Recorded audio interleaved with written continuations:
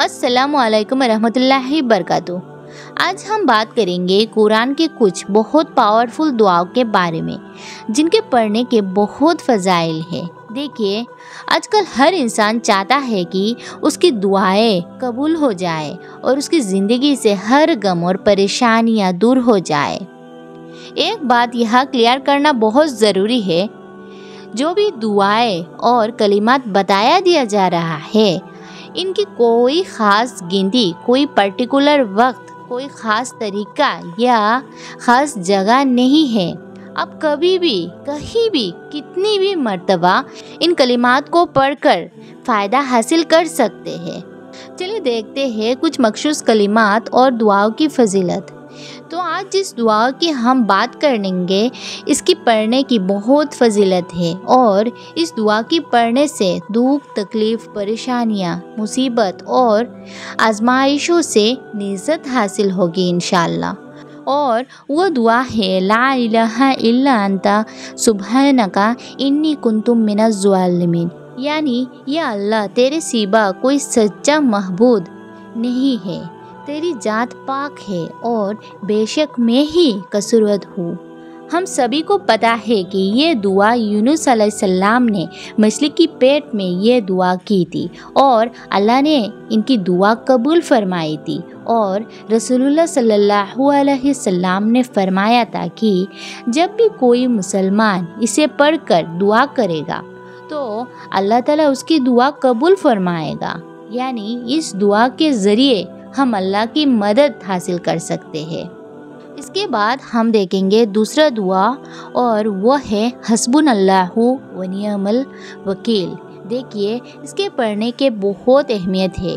इब्राहिम अलैहिस्सलाम को जब आग में डाला गया था, इन्होंने ये दुआ पढ़ी थी। इसलिए, जब भी हम कोई परेशानी, घबराहट और दुश्मनों के गल्फ का डर खौफ, यानी हर तरह की परेशानी के वक्त ये कलिमात पढ़कर अल्लाह से मदद हासिल कर सकते हैं। हसबुन अल्लाह वनियमल वकील, यानी अल्लाह हमारे लिए काफ़ी है और वो हमारा बेहतरीन कासास है, यानी अल्लाह एक बेहतरीन वकील है। बस, अब अल्लाह तू ही देख ले, तू ही मामले को सवार दे। इन इस दुआ की पढ़ने से अल्लाह हर किस्म की परेशानियाँ, गम, तकलीफ़ें दूर फरमा देंगे। इसके बाद हम एक और दुआ देख लेते हैं। देखिए, अक्सर हम रात में सोते वक्त हमारी आँख खुल जाती है और हम करवट बदल कर या अपने मोबाइल के नोटिफिकेशन चेक करके फिर से सो जाते हैं। तो सुन लीजिए, नबी करीम सल्लल्लाहु अलैहि वसल्लम ने फरमाया, रात की तारीकी में आँख खुल जाए और अब ये दुआ पढ़ लेते हैं। फ़र्स्ट ला इलाहा इल्लल्लाहु वाहदाहु, ला शरीका लाहु, लाहुल मुल्कु अलहुल हमदु अहु अला कुल्ल शैन कदीर। नाउ सेकंड सुबहान अल्लाह वल्हम्दुलिल्लाहि वला इलाहा इल्लल्लाहु अल्लाहु अकबर वला हौला वला कुव्वता इल्ला बिल्लाहिल अलीउल अजीम। और फिर ये कहे अल्लाह मगफिरली अल्लाह फॉरगिव मी ये पढ़कर जो भी दुआ आप करेंगे, अल्लाह ताला उसे कबूल फरमाएँगे। गारंटी इन हमें जो चाहिए, हम इस तरह की दुआ की पाबंदी करें कि हमारी तमाम जायज़ मुरादें पूरी हो जाए। देखिए, सूरह बकरा की आखिरी दो आयतें पढ़कर जो भी दुआ की जाएगी इन ज़रूर कबूल होगी।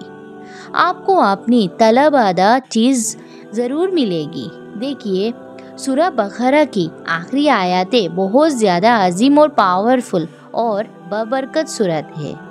क्योंकि ये दो आयतें अर्श के नीचे मौजूद खजानों में से रसूलुल्लाह सल्लल्लाहु अलैहि को एज ए गिफ्ट दी गई थी। सुबहान अल्लाह तो आप अंदाज़ा लगा दीजिए कि इन आयतों की कितनी फजीलत और कितनी अहमियत है।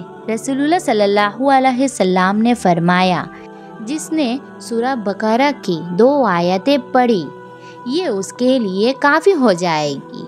ये बहुत ख़ास आयतें हैं, इसलिए इसे डेली सोने से पहले पढ़ने का अमल बना लीजिए।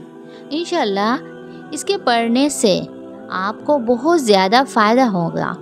देखिए, हमें तो चाहिए कि हम इस तरह की दुआ की पाबंदी करें ताकि हमारे तमाम जायज़ मुरादें पूरी हो जाए। बेहतर है कि इन दुआओं को लिख कर रख लीजिए। और एक बात जब भी छोटी छोटी कुरानी दुआओं और आयतों से इतनी फ़ायदा है तो सोचिए मकम्मल कुरान पढ़ने की कितनी ज़्यादा फ़ायदा होगा। इसमें हर मसले का हल भी मौजूद है, खैर बरकत भी है, शिफा भी है। बस ज़रूरत है हमें कुरान को समझ कर पढ़ने की। और उस पर अमल करने की।